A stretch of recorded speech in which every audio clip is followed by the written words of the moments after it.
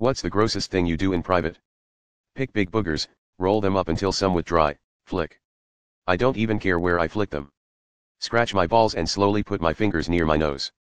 Sit on the toilet the opposite way to have the laptop in front of me. I'm just here to upvote other people's toxic traits while disclosing none of my own. I kind of wish I could erase my memory from reading about three-fourths of these stories. Slowly pick scabs until they bleed. Wait. Wait. Repeat. Poop with the door open, so I can keep watching Netflix.